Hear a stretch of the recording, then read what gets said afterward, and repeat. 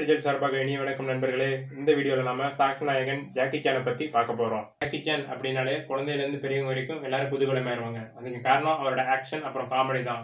Jackie Chan adventure குழந்தைகளுக்கான ஒரு favourite show அதுவும் நைன்டி கிட்ஸுக்கு சொல்லவே தேவையில்லை. ஜாக்கி சான் கிட்ட இருந்து பத்து விஷயத்தை நம்ம அவரோட லைஃப்லேருந்து கற்றுக்கலாம் அது என்னென்னு பார்க்கலாம். Don't quit in your first failure முதல் முயற்சியிலேயே துவண்டு விடாது. ஏழு ஏப்ரல் ஆயிரத்தி தொள்ளாயிரத்தி ஐம்பத்தி நாலு அன்னைக்கு ஜாக்கி சான் ஹாங்காங்கில் பிறந்தார். ஜாக்கி சான் பிறக்கும்போது அஞ்சு கிலோ எடையோட இருந்தார்.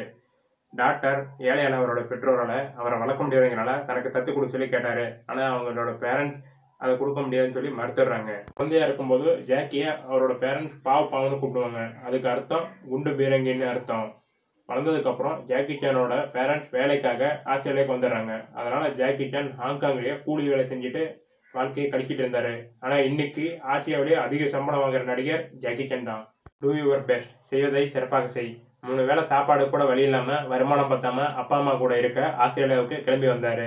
சின்ன வயசுல இருந்து வருஷக்கணக்கா ஓபரா அப்புறம் மார்ஷல் ஆர்ட்ஸையும் கத்துக்கிட்டதுனால சினிமாவில் ஸ்டண்ட் வேலை வாய்ப்பை தேடி வந்தாரு.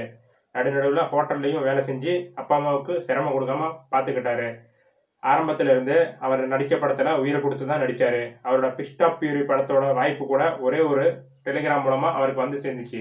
பிலீவ் இன் யுவர் செல் உன்னை நீ நம்பு. ஆரம்பத்தில் ஹாங்காங்கில் சில படத்தில் நடித்தாலும் அது எதுவும் பெருசாக ஓடலை.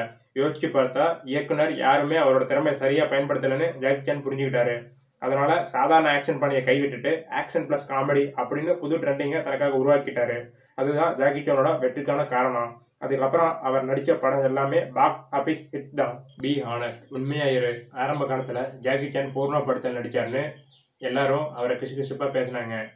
ஆமாம் பட வாய்ப்பு தேடிக்கிட்டு இருக்கும்போது அந்த மாதிரி படத்தில் நான் நடித்தேன் அதனால் எனக்கு எந்த வருத்தமும் இல்லைன்னு அவரே ஒத்துக்கிட்டாரு. அவருக்கு இங்கிலீஷ் சரியாக பேச வரலன்னு சில பேர் அவரை கிண்டல் பண்ணாங்க. அதுக்கு ஜாக்கி சான் ஆமாம் ஸ்டன் பண்ணுறதை விட இங்கிலீஷ் பேசுறது கொஞ்சம் கஷ்டமாக தான் இருக்குது அப்படின்னு அவங்களுக்கு பதிலடி கொடுத்தாரு. பி. டாலரன்ஸ் சகிப்புத்தன்மையுடன் இரு ஹாலிவுட் படமான ரஷ்கவர் படத்தில் ஜாக்கி சான் ரொம்ப நாள் நடிச்சிருப்பாரு. அமெரிக்காவில் கதை போகிற மாதிரியான ஸ்டோரி அது. அவங்களோட நகைச்சுவை பாணி எதுவுமே எனக்கு பிடிக்காம தான் அந்த படத்தில் நான் நடித்தேன்னு அவர் சொன்னார். அடுத்த படம் அதே சீரீஸ்ல வந்தப்ப எனக்கு பிடிக்கல தான் அதுக்காக வர நல்ல வாய்ப்பையும் சம்பளத்தையும் தவிர்க்கிறதுக்கு எனக்கு விருப்பம் இல்லை அப்படின்னு அவர் சொன்னாரு. நோ பெயின் நோ கெயின் வழிகள் இல்லைன்னா உயர்வு இல்லை. இடுப்பு எலும்பு உடஞ்சிருக்குது. முகமே சின்ன பண்ணமா இருக்குது. அவர் உடல்ல ஆப்ரேஷன் பண்ணாத இடமே இல்லை. இன்சூரன்ஸ் கம்பெனிக்காரங்க எல்லாம் அவரை கையெடுத்து கும்பிட்டு போதுண்டா சாமி அப்படிங்கிற அளவுக்கு ஆயிட்டாங்க. ஆர்மர் ஆஃப் காட் படத்தோட ஷூட்டிங்ல ஒரு முறை மலை வீழ்ச்சியிலிருந்து கீழே விழுந்து மண்டையோடு உடஞ்சி ரொம்ப சீரியஸான நிலைமைக்கே போயிட்டாரு. அந்த மண்டை ஓட்ட செயற்கை பூச்சை மூலமா சரி செஞ்சு திரும்ப குணமடைஞ்சு வந்து ஷூட்டிங் ஸ்பாட்ல கலந்ததுக்கு அப்புறம் அதுங்க இருந்த பாதி பேர் ஜாக்கி சான் இப்படி மீண்டு வருவதை பார்த்து ரொம்பவே ஷாக் ஆயிட்டாங்க. Don't seek you way make you way வழிகளை தேடாதே உருவாக்கு. போலீஸ் ஸ்டோரி படத்துல அவர் கூட நடிச்சு வந்த ஸ்டண்ட் ஆட்கள் எல்லாம் அநியாயத்துக்கு அடிபட்டு அவர் கூட இனிமேல் நடிக்க மாட்டேன் அப்படின்னு சொல்லிட்டு விட்டுட்டு போயிட்டாங்க. அதுக்காக ஜாக்கி சான் சொந்தமாவே ஒரு ஸ்டண்ட் டீமை உருவாக்குனாரு. மேலும் ஒரு ஸ்டன்ட் ஸ்கூலையும் உருவாக்கி தகுதியான ஆட்களை தேர்ந்தெடுக்க ஆரம்பிச்சாரு. அவருக்கு அடிப்படுற செலவு எல்லாத்தையுமே தானே பாத்துக்கிறதா ஜாக்கி சான் ஒரு டீமை உருவாக்கி அவங்களுக்கான செலவையும் பண்ணாரு. டோன்ட் குவைட் அன்டில் வின் வெல்லும் வரை விடாது. டிராகன் லார்ட் படத்துல கியான்ஜி கேம் பத்தின ஒரு காட்சியில ஜாக்கி சான் எதிர்பார்த்தது போல காட்சி அமையலைங்கிறதுனால அந்த ஒரு காட்சிக்கு மட்டும் கிட்டத்தட்ட ரெண்டாயிரத்தி தொள்ளாயிரம் டேக் எடுத்திருப்பாரு.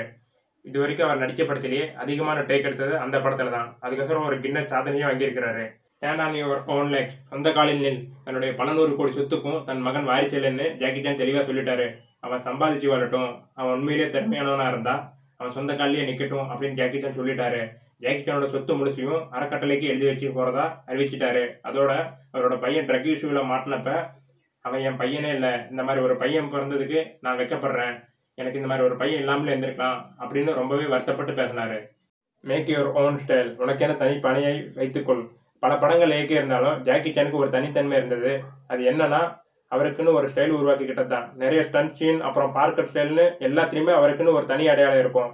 நீங்கள் மற்றவங்க சொல்கிறத கேளுங்க பேசுங்க. ஆனால் செய்யல எல்லாமே உங்கள் ஸ்டைல்லயே செய்யுங்க. அதுதான் உங்களுக்கு பெஸ்ட்டாக இருக்கும்னு சொன்னார். நடிகர் இயக்குனர் சண்டை பயிற்சியாளர் தயாரிப்பாளர் நிறைய பன்முகத்தன்மையோட ஒரு வரலாற்று முத்திரை பதித்தவர் தான் ஜாக்கி சான். ஒரு தடவை ஜாக்கி சான் ஒரு பேட்டியில் சொல்கிறாரு அது என்னன்னா என்ன புருஷ்லி மாதிரி நடிக்க சொல்லுவாங்க. நான் அவர் எப்படியெல்லாம் செய்யறனோ அதே மாதிரி செய்ய ஆசைப்படுவாங்க. ஆனா அவர் செய்யறதுக்கு நேர் எதிராக தான் நான் செய்வேன். புருஷ்லி மாதிரி ஆக ஆசைப்பட்டனோ தவிர புருஷ்லியாவே ஆயிடணுங்கன்னு என்னோட எண்ணம் கிடையாது. என்னோட தனித்துவத்தை ஒருபோதும் நான் கைவிட மாட்டேன். ஆரம்பத்துல அமெரிக்க ரசிகர்களுக்கு என்னுடைய சண்டை காட்சி பிடிக்கல. அதனால என்னுடைய ஹாலிவுட் படம் எதுவும் ஆரம்பத்துல சரியா ஓடல. அப்பயும் நான் என்ன மாத்திக்கல. இதுல என்ன வேடிக்கையான விஷயம்னா அன்னைக்கு என்ன பிடிக்கலன்னு சொன்னவங்க தான் இன்னைக்கு என்னோட படங்களை தேடி வந்து ரசிக்கிறாங்க. உங்களை பாராட்டுறத நினைச்சு உங்க நேரத்தை வீணாக்காம உங்களை நீங்களே மெருகேற்றிக்கிட்டே இருங்க. நீங்க யாருன்னு நீங்க தான் முடிவு செய்யணும். வலிமையான கனவு தான் தீர்க்கமான வெற்றியை தரும். அதனால கடினமாக உழைங்க. அதுதான் வெற்றிக்கான ரகசியம். ஓகே ஃப்ரெண்ட்ஸ் இந்த வீடியோ உங்களுக்கு பிடிச்சிருந்தா லைக் பண்ணுங்க. இன்னும் இந்த மாதிரி நிறைய வீடியோஸ் பார்க்கணும்னா சப்ஸ்கிரைப் பண்ணுங்க.